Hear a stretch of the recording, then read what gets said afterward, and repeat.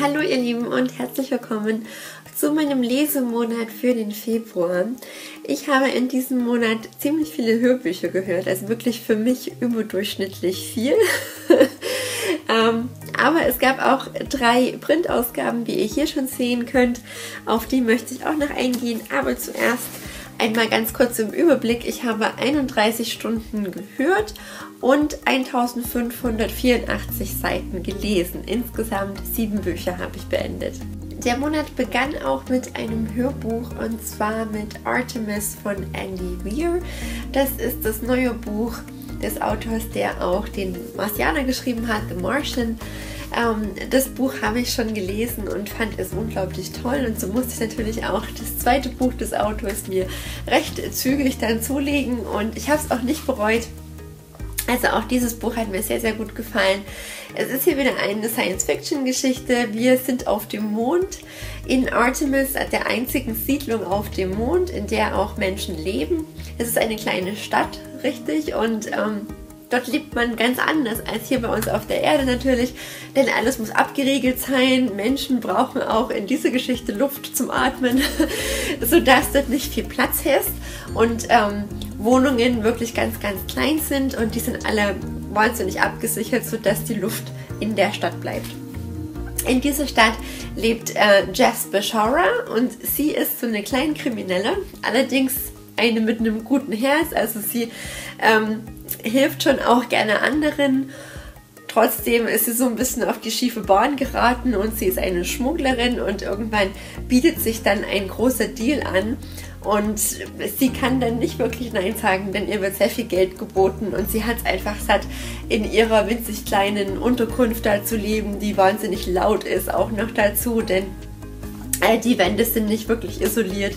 Und sie ja, schaut nur auf das Geld, sagt zu und ab da verstrickt sie sich in, eine, in einem riesigen Unterfangen und wir begegnen dann auch noch der Mondmafia. und ab da wird es wirklich richtig spannend.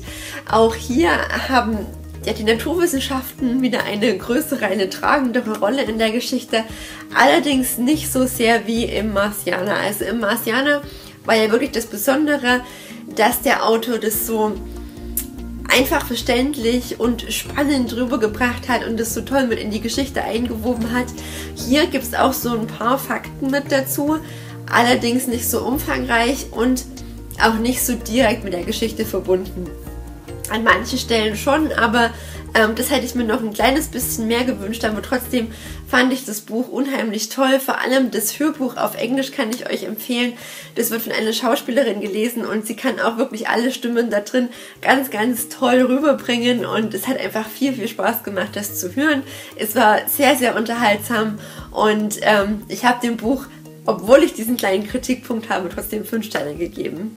Dann zu diesen beiden Büchern habe ich schon ein gesondertes Video gemacht, eine ja, Doppelrezension. Zum einen habe ich den abenteuerlichen Simplicissimus Deutsch und Continuatio von Grimmelshausen gelesen, äh, in dieser wirklich ganz, ganz tollen Reklamausgabe. Ähm, das ist der Text von 1669, nicht modernisiert und liest sich erstaunlich gut lesen. Es ist ja wirklich ein ganz, ganz berühmter Klassiker der deutschen Literatur. Es geht hier um den 30-jährigen Krieg, der, dessen Beginn sich auch in diesem Jahr zum 400. Mal jährt. Also ist auch 2018 das Jahr, in dem man dieses Buch lesen sollte, wenn man es denn lesen möchte, finde ich. Und ähm, das hat mir sehr, sehr gut gefallen. Ein wirklich sehr interessanter Klassiker, der zum einen Einblick in das Leben der Menschen im Dreißigjährigen Krieg gibt, ähm, aber natürlich auch, in dem die Gewalt ein großes Thema ist, in dem ähm, ja, die Verrohung der Menschen auch hier zum, zum Tragen kommt in der Geschichte. Ebenso wie die grundsätzliche Frage, ob der Mensch zu Gutem fähig ist und wenn, ob er das in Gesellschaft mit anderen Menschen sein kann oder eigentlich nur und dann auch nur das sein Seelenheil finden kann, wenn er als Einsiedler lebt und allein ist. Ähm, das finde ich war die Grundfrage in dem Buch für mich und fand ich sehr, sehr interessant. Ähm, ich war schockiert mitunter, aber das ist halt einfach, denke ich, in jedem Krieg so wie viel Grausamkeit einfach herrscht und wie natürlich das für Menschen sein kann, was dann auch in dem Buch hier noch ähm, deutlicher ja, zur Sprache kam, denn ähm, in diesem Sachbuch Der Dreißigjährige Krieg in der deutschen Barockliteratur von Volker Meid werden auch andere Quellen noch mit hinzugezogen. Hier spielt auch der Simplicissimus eine etwas untergeordnete Rolle, aber er ähm, kommt auch zur Sprache. Größtenteils jedoch werden hier auch auf ähm, Propagandaschriften, auf Flugblätter, auf Tagebücher ähm, Bezug genommen, ebenso wie auch auf verschiedene politisch inspirierte Gedichte. Und vor allem äh, Auszüge aus einem Soldatentagebuch haben mich doch sehr stark berührt in dem Buch, da dort wirklich so deutlich wurde, wie Gewalt und Tod und Verstümmelungen und einfach, was die Menschen einander angetan haben, wie sehr das zum Alltag gehörte für einen Söldner damals und ja, wie das einfach so zwischen ganz alltäglichen Sachen dann mal kurz mit zur Sprache kommt, aber als nichts wirklich Besonderes dargestellt wird. Und ähm, ja, das fand ich wirklich sehr interessant, sehr erschreckend. Ähm, es gibt ja auch ein etwas größeres Kapitel zum, zur Hexenverfolgung während des Dreißigjährigen Krieges, was für mich auch recht neu war, ähm, wie diese auch politisiert wurde während des Krieges. Und ja, insgesamt kann ich das ja auch sehr, sehr empfehlen. Dieses Sachbuch, ähm, dem Simplicissimus, würde ich vier Sterne geben. Und diesem Buch auch vier Sterne, obwohl mir das noch ein bisschen besser gefallen hat, weil ich hier einiges noch lernen konnte und ähm, ja, es mich sehr berührt und schockiert zurückgelassen hat. Jetzt habe ich doch schon wieder mehr zu den beiden Büchern gesagt, als ich eigentlich wollte. Ähm, meine Rezension zu den beiden Büchern jedoch ist noch ausführlicher und da lese ich auch ähm, ein Stück aus dem besagten Tagebuch vor. Also wenn euch das interessiert, das ist unten verlinkt. Danach hörte ich auf Spotify die Judenbuche von Annette von Droste-Hülsdorf und diese Novelle hat mir auch wahnsinnig gut gefallen. Wir haben in der Schule nur mal so einen Auszug draus gelesen. Ähm, ich weiß, eine Parallelklasse hat das insgesamt gelesen, das komplette Werk. Äh, wir nicht. Und ähm, ich habe das jetzt nachgeholt und mir hat es wirklich wahnsinnig gefallen. Also das war ein weiteres Fünf-Sterne-Buch. Ähm, das Hörbuch gibt es auf Spotify momentan verfügbar. Und ähm, ich muss sagen, der Sprecher war nicht ganz so meins, aber trotzdem, die Geschichte macht es einfach wett. Es ist eine Kriminalgeschichte und im Mittelpunkt steht hier die Ermordung des Juden Aaron.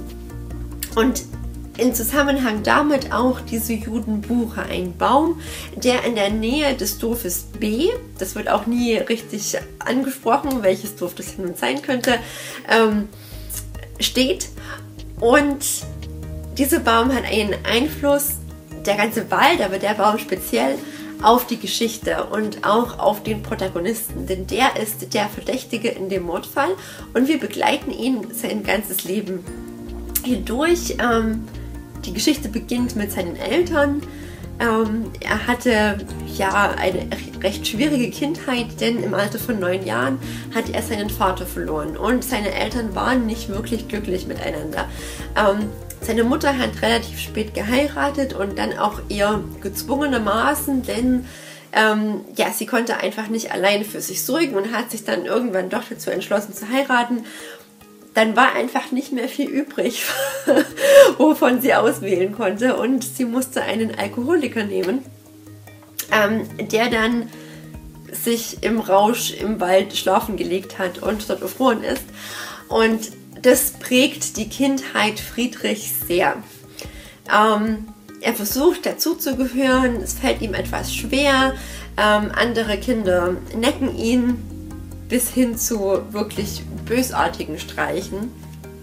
Ähm, und auch als junger Mann ähm, hat er so ein paar Schwierigkeiten dazuzugehören und auch sich so am Gesetz vorbeizuschlängeln.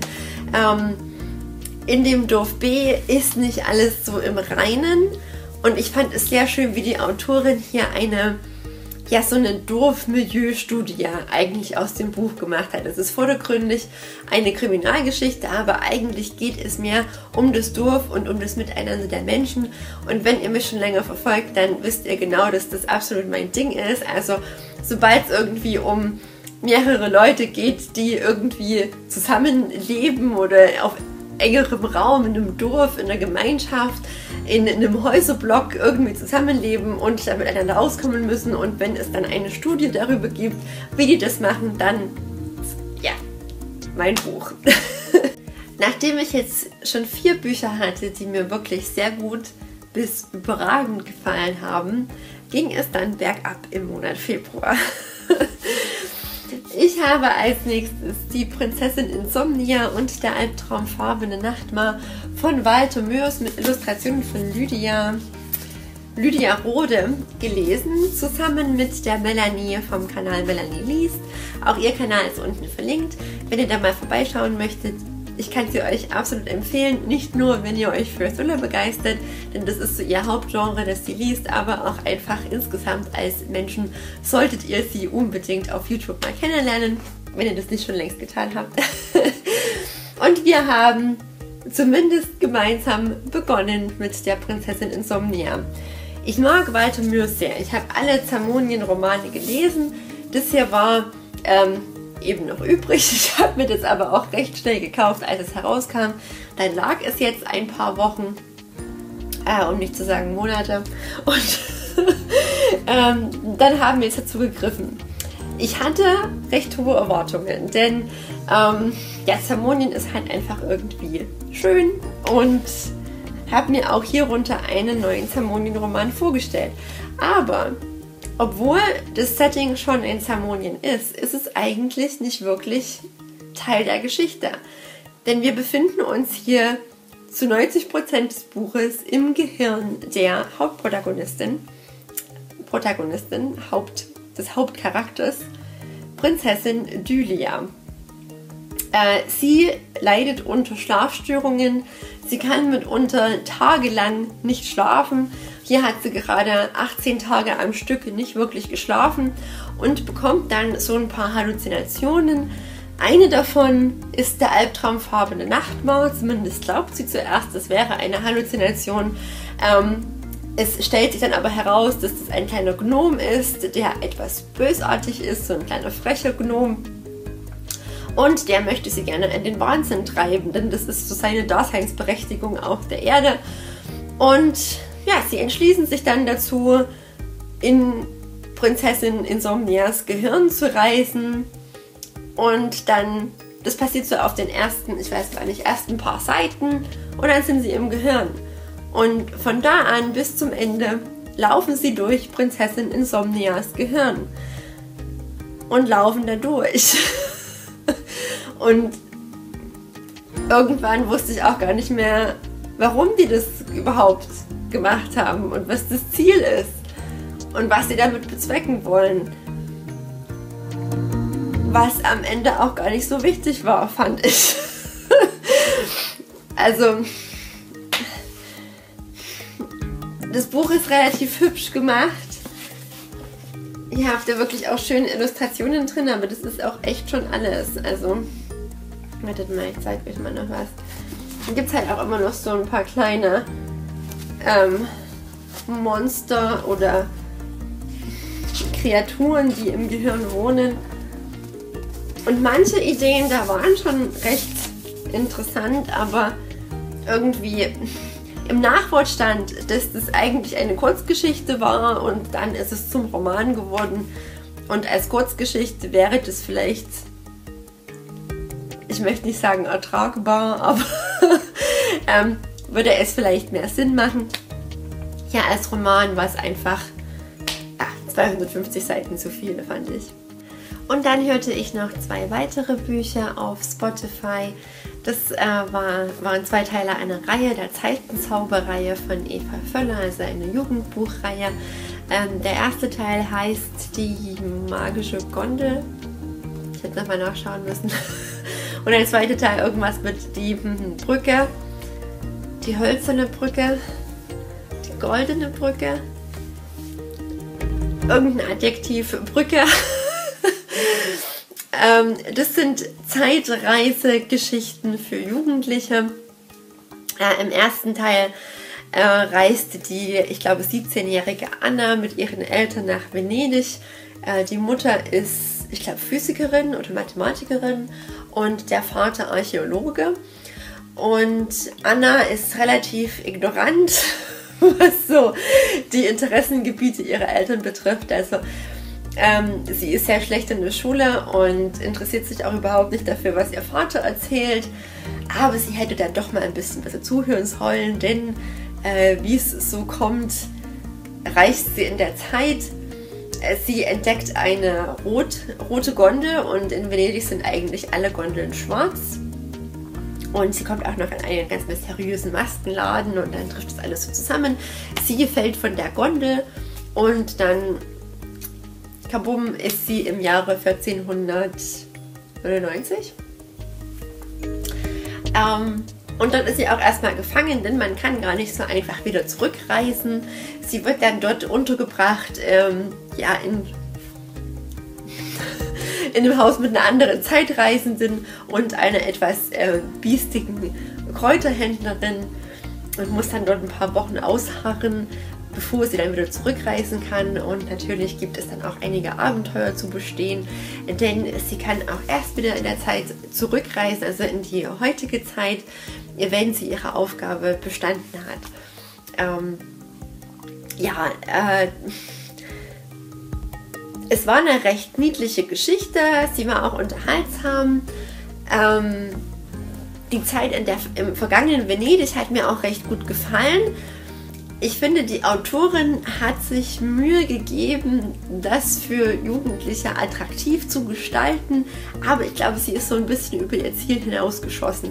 Denn ähm, sie hat sich dann solcher Vergleiche bedient, wie zum Beispiel, dass der Protagonist, also auch der das, das Love Interest unserer Anna beschrieben wurde als etwas jüngerer Orlando Bloom, der ähm, wie hieß der denn, den Typ in der, im Flut der Karibik gespielt hat. Und solche Beschreibungen gab es eben ständig. Dann sieht eben jemand aus wie Hannah Montana und dann sieht der Typ aus wie Orlando Bloom. Und ähm, ich hätte mir dann doch auch gewünscht, dass sie sich einer normalen Beschreibung bedient, dass Charaktere auch einfach Eigenschaften haben können und nicht nur wie irgendwelche Filmstars ausschauen. Auch so dieses geschichtliche Drumherum, da war mir Anna einfach so ein bisschen zu ignorant. Also sie hat einfach nichts gewusst. Sie hat sich auch nicht wirklich drum geschert. Ähm, aber im Venedig des 15. Jahrhunderts ging das noch. Also da wurde noch relativ viel drumherum erklärt. Im zweiten Teil dann geht es nach Paris und dort ist irgendwie nicht wirklich viel Historisches passiert. Also da hat auch die Autorin gar nicht mehr so viel Wert drauf gelegt, uns diesen historischen Kontext näher zu bringen, fand ich. Es ging im zweiten Teil mehr um dieses Love Interest und um die Probleme, die sie miteinander hatten, viel mehr als um die eigentliche Aufgabe, die in der Vergangenheit zu erledigen war.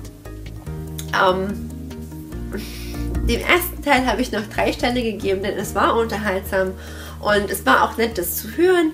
Die Sprecherin hat das recht schön gelesen. Es war einfach so ein schönes Buch zum ja, Arbeitsweg und äh, zurück einfach mal zuzuhören. Aber es war auch nicht mehr. Und der zweite Teil hat mich dann doch noch enttäuscht, obwohl meine Erwartungen schon nicht mehr so hoch waren nach dem ersten Teil. Aber hier waren immer noch die Beschreibungen ähnlich, dass mir über Vergleiche gearbeitet wurde, als eigentlich etwas, etwas Neues zu kreieren und, und Charakteren auch etwas mehr Tiefe zu geben. Ähm, Zugleich war Anna noch ein bisschen naiver und hat sich noch blöder angestellt als im ersten Teil. Ähm, ich glaube, ich mache jetzt erstmal eine Pause und obwohl alle drei Teile auf Spotify verfügbar sind, hänge ich den dritten jetzt nicht unbedingt noch so hinten dran. mal schauen, ob ich mir den nochmal irgendwann zu Gemüte führe oder nicht. Ich brauche jetzt erstmal ein bisschen Abstand von der Zeitreisenden Anna. Das war jetzt so ein kleines bisschen zu viel. Und das waren jetzt alle Bücher, die ich im Februar beendet habe. Ihr dürft mir natürlich wie immer gerne in den Kommentaren etwas dalassen, eure Meinungen. Äh, vielleicht habt ihr auch einige der Bücher schon selbst gelesen. Ich weiß, dass die Zeitenzauber-Trilogie gerade wahnsinnig populär auf YouTube ist. Die habe ich irgendwie diesen Monat überall gesehen. Ich weiß nicht warum. vielleicht habt ihr die Bücher ja auch auf Spotify gehört oder vielleicht habt ihr sie auch gelesen. Ähm, mich würde es brennend interessieren, ob euch das gefallen hat. Ähm, und wenn ja, was euch daran gefallen hat. Wenn nicht, ob ihr mir zustimmt oder ob ihr andere Punkte hattet, die ihr kritisieren würdet. Ähm, aber auch Walter Mörs und die Prinzessin Insomnia. Da würde ich mich auch sehr über einen Austausch freuen.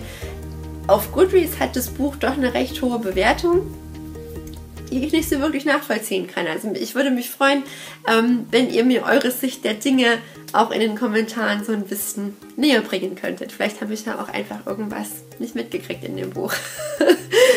ähm, aber natürlich auch Artemis oder die Klassiker Simplicissimus, die Judenbuche oder auch mein Sachbuch über den Dreißigjährigen Krieg. Ähm, was immer ihr mir in den Kommentaren schreiben möchtet, ich freue mich drüber. und ich bedanke mich jetzt bei euch fürs Zuschauen. Ich wünsche euch noch einen ganz tollen Tag und hoffe, wir sehen uns dann ganz bald im nächsten Video wieder. Tschüss!